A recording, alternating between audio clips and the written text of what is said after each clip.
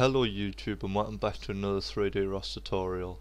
In this video I'm going to show you how you can quickly up the quality of your renders in very little time in Unreal Engine.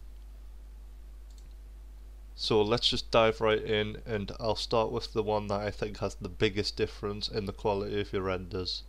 So it can take you from an image like this to an image like this straight away with the same resolution and I'll show you how. So the first technique is through screen space scaling. So in your viewport bring down the drop down arrow and under screen percentage instead of 100 just whack that up to 200. Now you don't want to go too high because your engine will run super slow. However this is a great way to fake detail in your images, extra resolution that is. So basically what it does is it makes the camera see 200% so two times the actual resolution output of your monitor. So although my monitor is 1080p this is going to be in 2k and if it's lagging a bit for you you can bring it down to 150 and that way you can get so much more detail. So if I zoom in a bit more as you can see it does slow down the editor quite a lot so you only want to do this for taking your screenshots. So let's just say these cherubs over here. If I whack this back down to 100 keep an eye on the cherubs over there. As you can see it loses a lot of detail especially in the reflections. So if we hit it back up to 200 it becomes a lot more sharper and this becomes a lot more noticeable when you render your images out. So if we go back to the camera here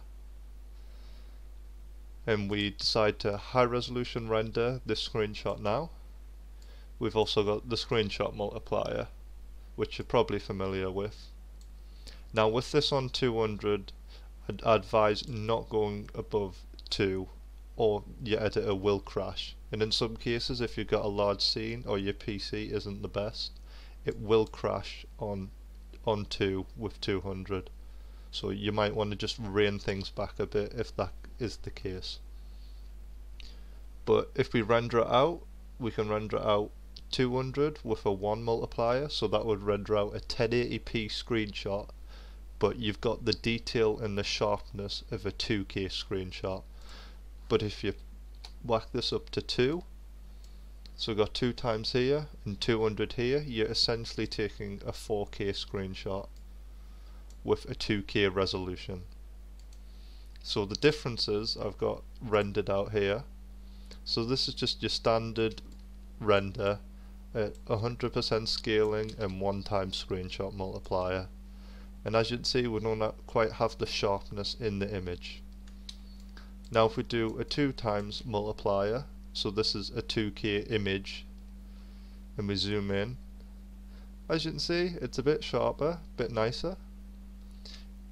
If we go back down to 1 times multiplier so this is just a 1080p screenshot. So roughly the same file size as this one. As you can see a huge difference.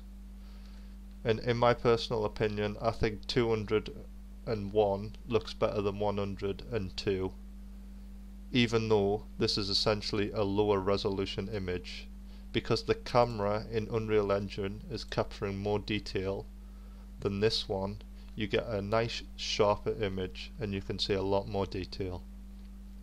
Now if we look at 200% with a 2 times multiplier you can see you get a lot more detail. I can start to see the detail in these flowers and you can just really zoom in and see a lot of that extra detail you couldn't before and the reflections look a lot nicer. So if we just flick through, this is the first one. This is 100 with 2 times multiplier. This is 200% screen reflection with 1 times multiplier. So as you can see that gets a lot sharper and nicer even though it's essentially a lower resolution image. And then the final higher resolution one you can start to see all of the detail in these rollers where you could not previously. So that is one way to increase the look of your renders in Unreal Engine. So the next ones, uh, ones you might not really think of, and they'll they'll harbour a bit less extreme results, but it's worth looking at, as well as for performance. So if we go a lit up here, and we go down to optimization view modes and go a light map density. So this looks crazy. So basically, as long as you're not clicked on it, it'll show you different colors like green, red and blue. So what these mean is, as you can see the checkered pattern, it is good to have this checkered pattern roughly the same throughout all of your models in your whole scene. I mean I've made this quite extreme just for the example of this tutorial. But for example you wouldn't want a lot of light map density on these papers because there's there's no real reason for that. You want the checkered pattern the same as this desk that way it's consistent throughout and you don't get loads of shadow high quality shadow detail in one and then loads of jaggedness in the other. It's also just not needed for your render time if it's red. I mean you can bump up a little bit don't get me wrong but you want to be aiming for like a green in your overall and you also want to keep it quite consistent. As you can see this is red whereas this is green. This has got some funky light maps so blue is the worst. So you just want to scale that back and just to do that you just select the object. Say this one's red so this light map density is too high. You want to go to lighten override light map resolution and let's just put something like 16 and as you can see that tile gets bigger. We click away and now it's green and that'll make it more consistent throughout.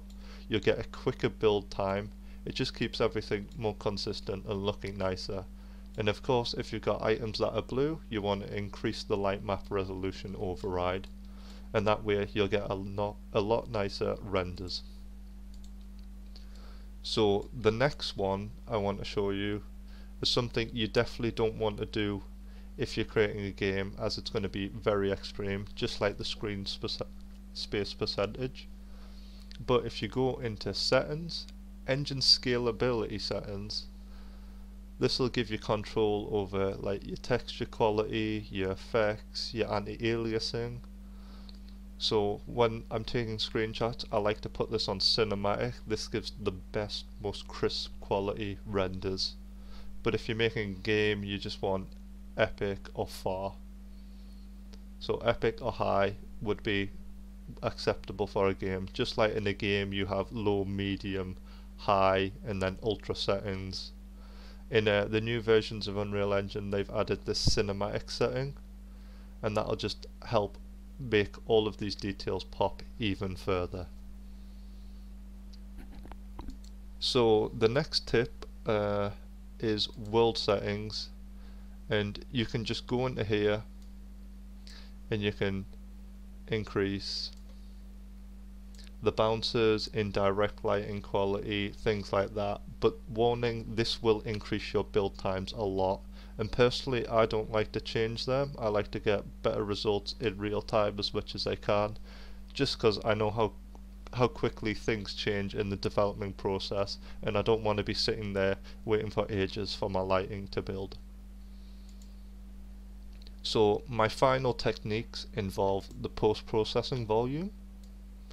So just some basic adjustments, you can go in, adjust the shadows, highlights, color, whatever you'd like. But something I like to do for standard is go into the rendering features, ambient occlusion, and under intensity it's defaulted to 1.5. If we look on 1.5 here, and I increase this to 0.75, you just get some nice nicer shadow detail baked into the model.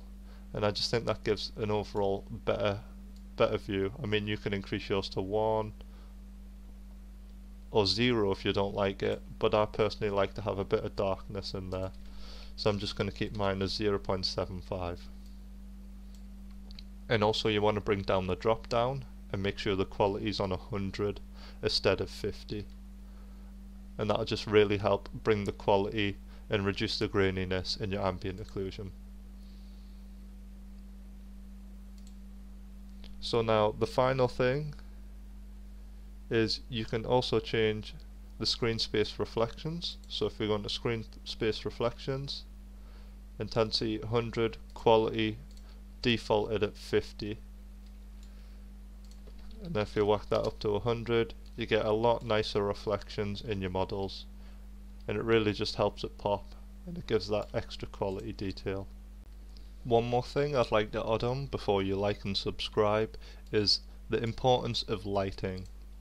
So if I just reduce this down a bit more just so it move around, as you can see I've got this lighting set up here. We've got some point lights here and we also have this HDRI. So HDRI images let you extract the lighting from an image like this. So the bright part of the image will cast a light and make the scene brighter wherever that's shining and darker where the image is darker. And this is a template that I got off ArtStation, uh, the Pro Lighting Kit by Scott Knapp, and uh, I highly recommend this template. It comes with a host of different levels that you can try out, different lighting scenarios. So as you can see in this one it's got a multi kind of coloured effect. This is a white one and it comes with just a whole host of different HDRIs which I'd highly recommend that you check out. Uh, the link for that will be in the description and uh, honestly it's a great environment to render out your objects and assets and uh, I, I would highly recommend it but as I said it's not required uh, just follow the techniques I did in this tutorial and you can get great looking images but it's an extra that you're looking at adding on so yeah, hopefully you can implement some of these techniques into your work and I hope you found it helpful. If you did, please give this video a like, maybe share it with somebody and consider subscribing, it's free. And ring that notification bell to get notified on my next video. Thank you for watching and I'll see you in the next one.